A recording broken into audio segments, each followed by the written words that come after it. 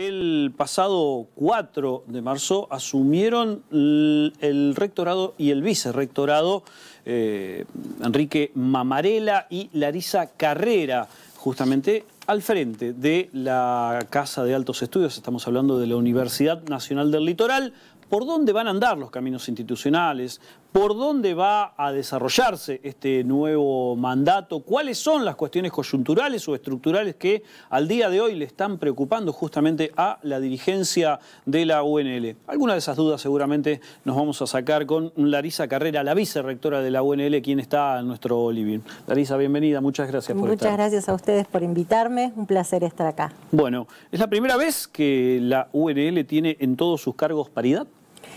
Bueno, es la primera vez que se da que tenemos una vicerrectora y un rector y es la primera vez que se da que tenemos cinco decanas mujeres y cinco decanos varones. Así que la verdad es que estamos muy contentos porque creemos que es un crecimiento institucional muy importante, que la mujer pueda ir cumpliendo roles de, decisión, de, roles ejecutivos tan importantes como son los decanatos o el rectorado. Así que la verdad es que es la primera vez que se da esto. Yo comencé, perdóname, pero te, te, cuento una anécdota. Cuando comencé como decana era la única mujer entre 10 decanos. ¿Venís de ciencias médicas? Vengo de ciencias médicas y en mi primer mandato fui la única mujer decana. Luego, en el segundo mandato éramos tres y ahora ya son cinco. Es decir, que bueno, ha ido creciendo el, protagonismo de la mujer, ocupando ciertos roles y bueno, está, está la muestra, ¿no? ¿Por dónde, ¿Por dónde andan las preocupaciones de las distintas facultades, que obviamente son de distintas vertientes? Eh, pero en general, ¿por dónde eh, va a arrancar el mandato o esta parte del mandato?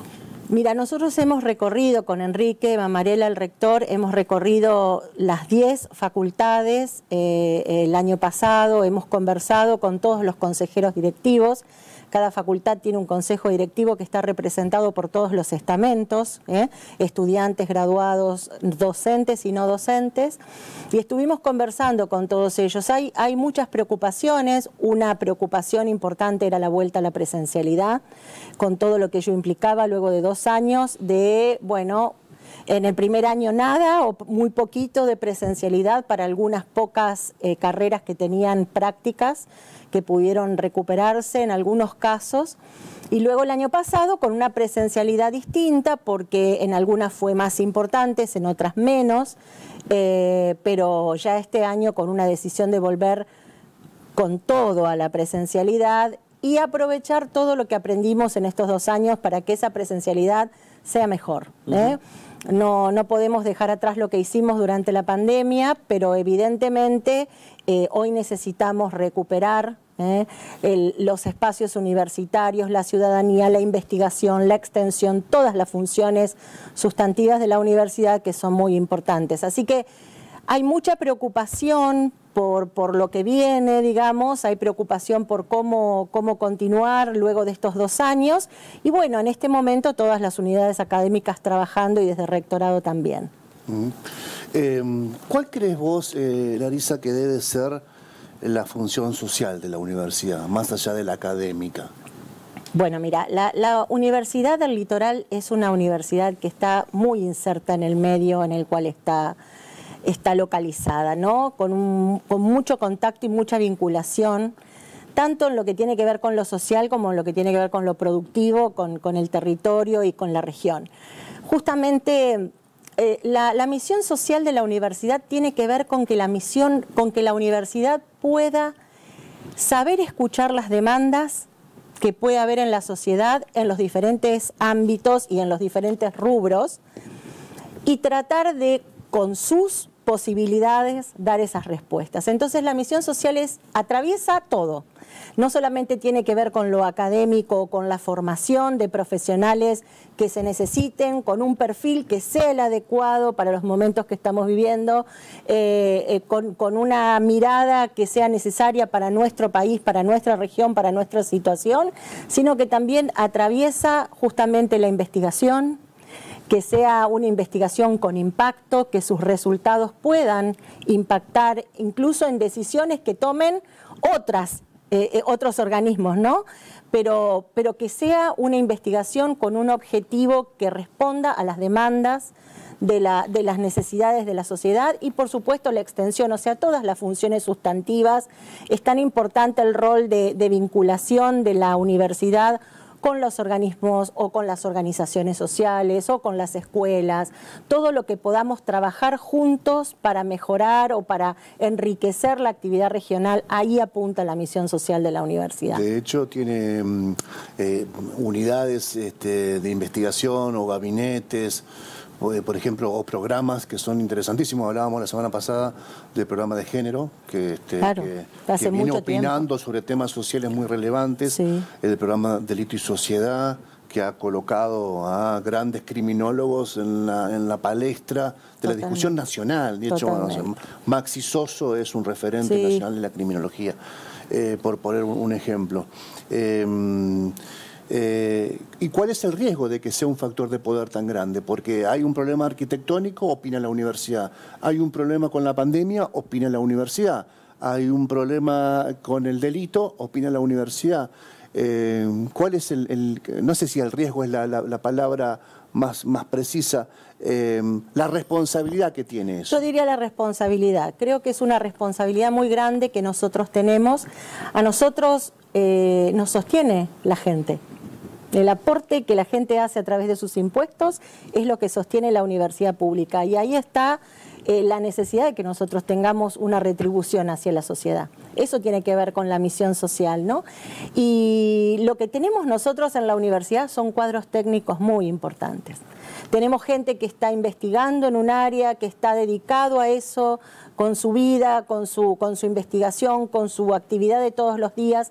Entonces lo que tenemos es mucha, mucha gente con mucha formación que puede aportar eh, desde lo técnico a, esas opiniones que muchas veces hacen falta. Esto que vos decías los comités, el comité de emergencias, por ejemplo, cuando participamos con, con, la provincia, con el Ministerio de Salud. Hoy a la mañana, por ejemplo, inauguramos un vacunatorio en Ciudad Universitaria que apunta a este inicio de clases como una de, las medidas proactivas para promover la vacunación y eso resulta del trabajo de interacción permanente que tenemos con, con las autoridades también, porque nosotros no estamos afuera del ámbito de la... Al contrario, interactuamos permanentemente y esas necesidades también surgen y de esa interacción surgen estas acciones. Entonces, hay acciones sinérgicas y la universidad es un actor sumamente importante para que con sus capacidades, con su inserción territorial, pueda llegar a otros lugares. ¿no? Y en este caso, bueno, fue un vacunatorio. En otros casos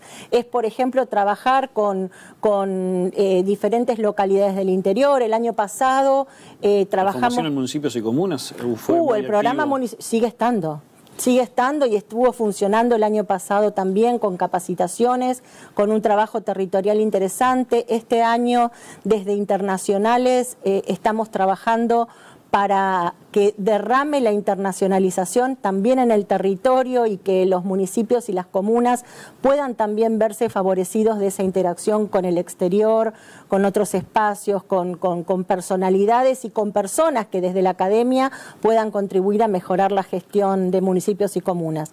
O el programa de salud rural, por ejemplo, que se firmó el convenio con la provincia para trabajar con los municipios y comunas el tema de, de la articulación con la carrera de medicina. Bueno, hay numerosas acciones que se llevan adelante desde la, desde la universidad y que realmente lo importante es que se considere que la universidad es realmente una institución que tiene que tener sus puertas abiertas y que los actores sociales tienen que venir a la universidad y nosotros salir hacia el exterior para, para que podamos derramar eso que yo les decía, derramar todas nuestras capacidades en que la región salga adelante. Eh, hace unos, unos, años se firmaron los, los 17 Objetivos para el Desarrollo Sostenible y nosotros tenemos incluidos dentro de, y considerados dentro de nuestro plan estratégico a esos 17 objetivos.